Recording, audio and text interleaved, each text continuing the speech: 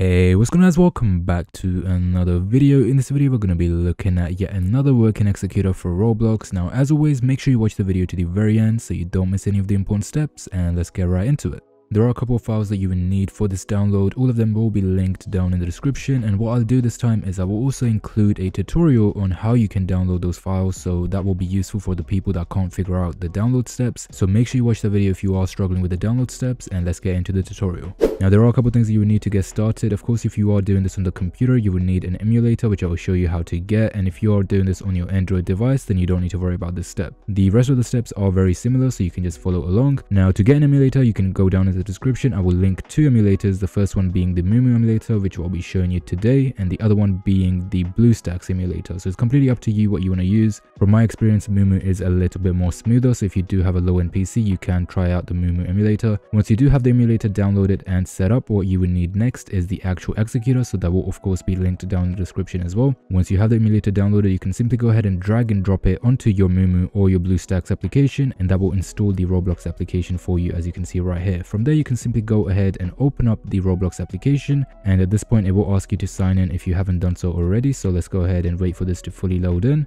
and there we go we just loaded in and over here we just need to quickly sign in and that will take us to the Roblox page once you have gone ahead and signed in, it will take you to the Roblox application. Now at this point, you can simply go ahead and load into any game of your choice. So in my case, I'll go ahead and load into this game right here. So let's go ahead and do that.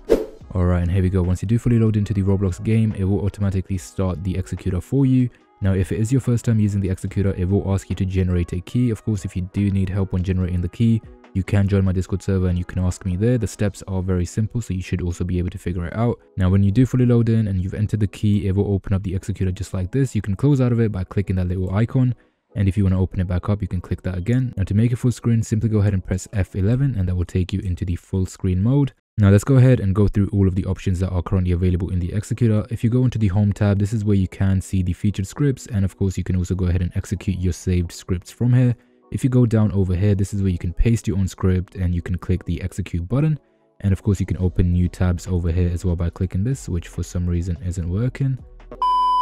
Now going down here, you can also search for the scripts of your choice. So let's go ahead and search for the infinity yield script. And as you can see, it is right here and you can simply go ahead and click it and click execute and that will execute the script as you can see in the bottom right corner. Now if there is a script that you use on a regular and you want to save it for future use you can simply go ahead and click it and click on save selected script and once you've done that you can go back over onto this tab and you will see it right here. So the next time you open Roblox you can simply go ahead and click on the execute button and that will execute the script for you instead of having to search your scripts again and again. Now coming down over to the settings you've got auto execute so if you want to auto execute any of the folders. Now I don't think this feature is currently working simply because we are on the mobile version of the game but i will get in touch with the developer and i will let you know if there are any updates on this and the rest of the settings you don't really need to worry about. Now if you do scroll down a little bit, you do have the FPS cap. I do recommend putting this on max FPS just so it gives you a little extra frames. And at this point you don't really need to worry about anything else. You can simply go ahead and execute any script that you want to use and you're good to go. And that's pretty much it for the video guys. Again, if you do have any questions, feel free to leave a comment down below or join my Discord server for a faster reply.